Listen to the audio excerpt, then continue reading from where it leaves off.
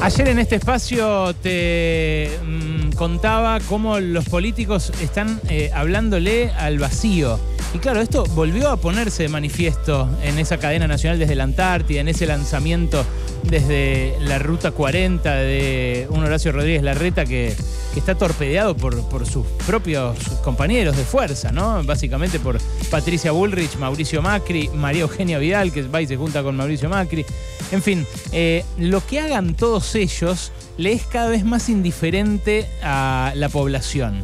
A mí no me gusta hablar en nombre de la población, hablar en nombre de la gente, decir qué es lo que le pasa a la gente, porque la verdad que a todos nos pasan cosas muy diferentes, eh, pero a todos y a todas, además, nos pasan en buena medida las mismas cosas. Cosas que tienen que ver con las que les pasan a los demás y que tienen que ver con la insatisfacción, el malestar, el hastío que genera vivir en una sociedad tan injusta como esta eh, y que eh, mueve a tanta desazón a mucha gente y a tanta depresión por la violencia que ejerce sobre nosotros cotidianamente.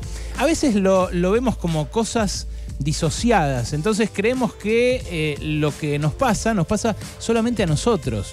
Y entonces nos encerramos en el mal de esta época, que es eh, el, desequilibrio, la, desazón, el encierro, la soledad eh, y la pandemia que nos dejó huellas muy fuertes, muy profundas a la mayoría de los seres humanos, sigue ahí todavía, con, un reformateo mental que todavía no terminamos de procesar del todo, ni individual ni colectivamente.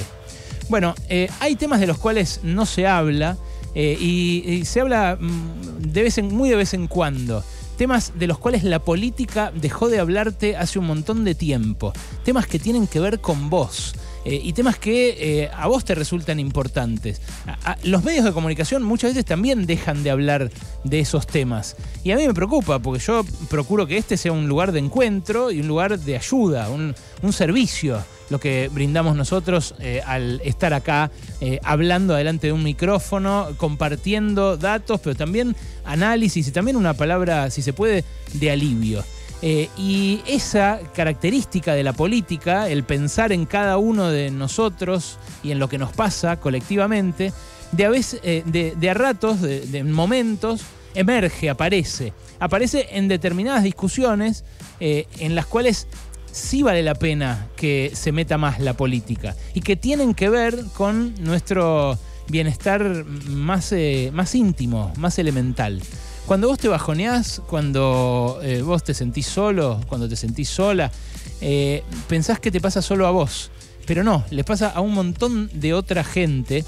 Eh, y eso es lo que, por ejemplo, en España, anteayer, terminó de ver todo el Congreso. Las Cortes Españolas aprobaron un proyecto de ley que les da dos semanas por año habilitadas de licencia paga a las personas que tengan un trabajo para ocuparse de las eh, personas de su familia, de sus familiares, de sus seres queridos que eh, estén deprimidos o que tengan riesgo de suicidarse.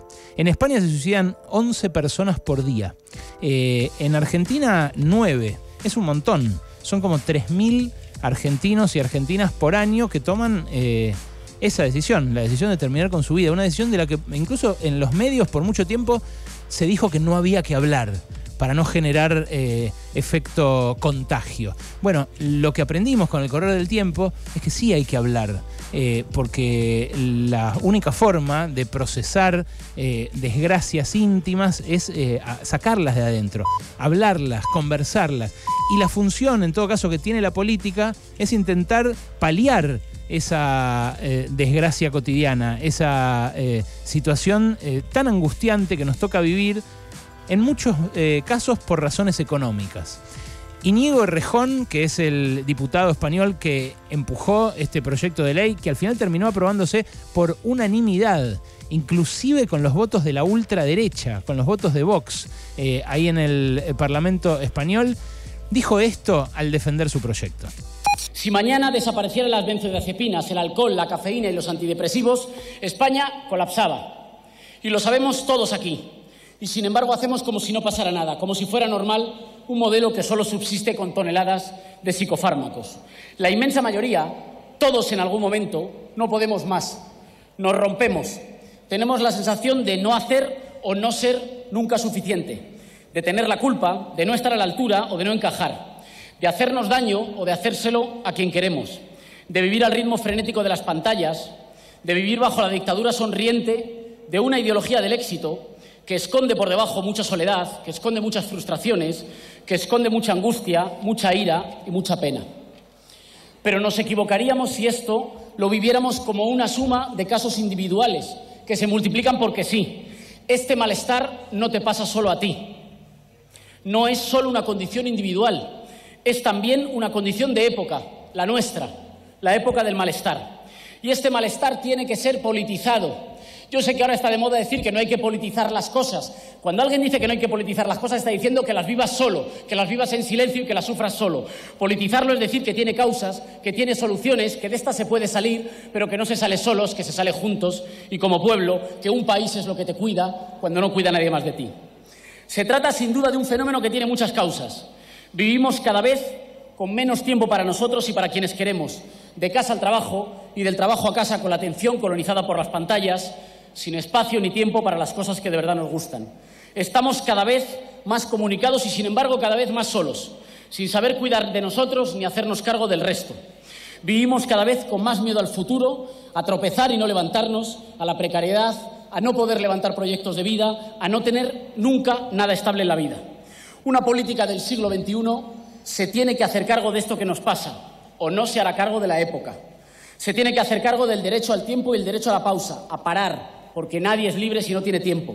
Se tiene que hacer cargo de una renta básica universal que garantice el derecho a una existencia libre, libre del miedo a final de mes, libre del agobio, libre de no saber si vas a poder pagar un techo, libre de no saber si vas a poder formar una familia. Y se tiene que hacer cargo de un radical reparto de la riqueza para que la tranquilidad no dependa de tu herencia o de tu código postal.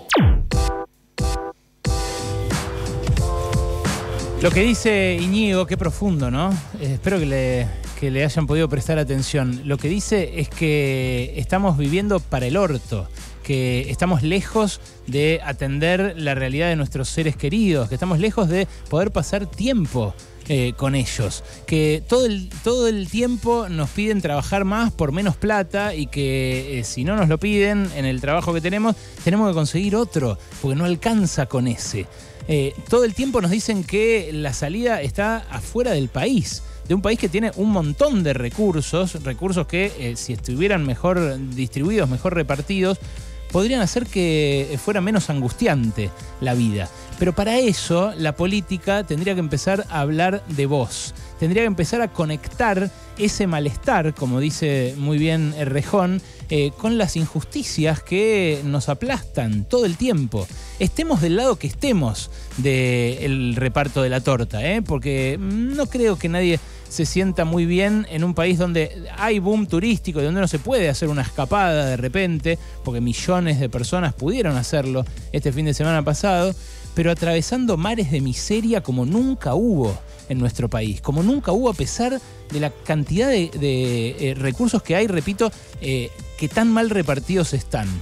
Eh, la, la, dramática decisión que tomaron las dos nenas argentinas en Barcelona habla también de esta realidad, porque ejercieron sobre ella una violencia tremenda, discriminación por ser argentinas. A mí me tocó mm, en muchísima menor escala, pero pasar por Barcelona y tener una experiencia muy desagradable, porque hay muchos argentinos y se ve que a los catalanes no les gustan, eh, o no les gusta que haya tantos, o no les gustan todos, o tienen una beta eh, xenófoba jodida que se expresa especialmente con los argentinos. Ahora, a ellas eh, se, se las atacaba o se las burlaba por su acento argentino y se la burlaba también a una de estas dos nenas de 12 años que se tiraron del tercer piso porque eh, una había decidido ser varón eso también es una violencia de nuestra época, una violencia contra lo diverso que aparece cuando el deseo se pone de manifiesto y cuando también la realidad económica no ofrece más oportunidades de realización que por ahí la, propia autodeterminación, la decisión eh, sexual o de género eh, y no mucho más. Bueno, esa eh, realidad es una realidad que acá la política dejó de abordar. Dejó de hablar de eh, llegar a fin de mes, dejó de hablar de eh, conseguir casa, dejó de hablar de los más elementales derechos porque no los puede garantizar, porque renunció a repartir mejor esa riqueza que, repito, en nuestro país abunda y abunda desde hace mucho. Eh, lo que empezamos a ver ahora que se acerca la campaña es gente que por todas partes te dice hay que cobrar menos impuestos, hay que achicar el Estado, hay que bajar el déficit, así se baja la inflación. Bueno, eh, esa receta ya la probamos. Quizás en lo que haya que reparar de vuelta es en el ser humano detrás de los números y que la política, de nuevo, vuelva a hablar de vos. Pasaron cosas. Hasta las 16 con Alejandro Berkovich. Pasaron cosas.